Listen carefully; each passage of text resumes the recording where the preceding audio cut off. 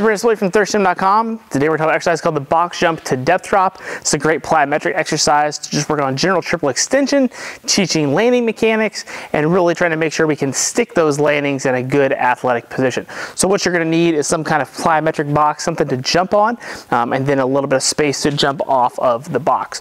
So the reason I like this drill in particular the box jump is pretty easy for athletes to get. It's not very hard. You jump as high as you can and you land on the box. But we want to make sure that they're landing correctly. So when they do that, we want to make sure that their hips are higher than their knees.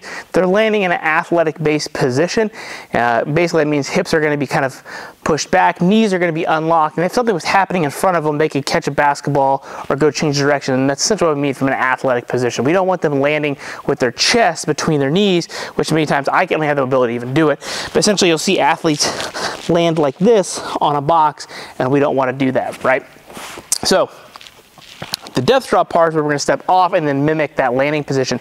But theoretically, this box is going to be higher than what they can actually jump. So the landing forces that they're going to get from the depth drop are going to exceed what they normally be able to do, which can be a bad thing, but as long as the athlete is trained properly how to land and what the goal of the activity is, everything's going to be okay as long as this box isn't like 60 feet tall, right?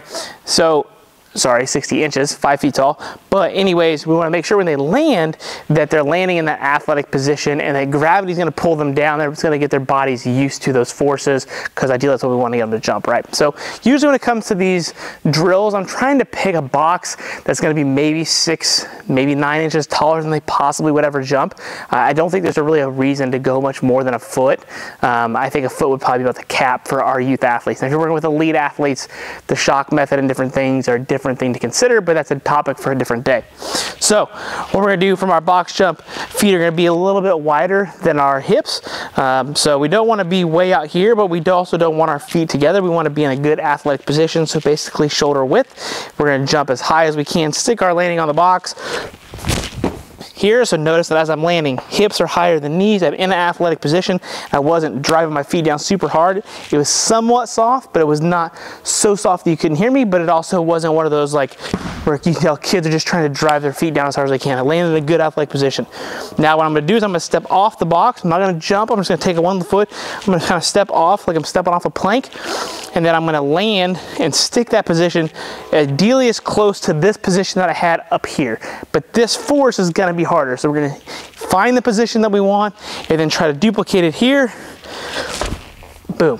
Notice I'm still staying hips above knees, athletic stance. I come back to the start position, do the exact same thing again. Hips, hands are high, come low. It's gonna help me break my hips as high as I can. Boom, stick it, come to the end, stick again. So as you can see, those positions are very similar. That's what we're wanting it is a little bit taxing from the step off perspective. So for an exercise like this, I really like three to five sets of anywhere from three to five reps, depending upon what we got going on our time of year. If I'm working with this other athlete, it's probably an athlete that needs to work on their landing mechanics and work on absorbing those forces. So if you ever see those athletes, when they go to jump, they go to squat, their butt just keeps falling, falling, falling, falling. We want to try to prevent that. So what we're trying to do from this drill is teach them as they land here to stick that position. This should be an easier position to stick than that. This just has to be honest on their box height as they go to land, we want them to create that stiffness so they can stick that position.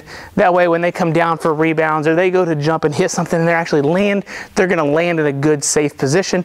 They're not gonna land with their knees collapsing in, butt going between their ankles, chest falling down, any of those things. So this is almost not only just a performance exercise, obviously we wanna improve triple extension, vertical jump, all that kind of great stuff, but it's also working on the mechanics side of jumping, which is then in turn gonna keep our athletes safer, help them jump higher and do all those things. So if you got any questions, let me know in the comment section below.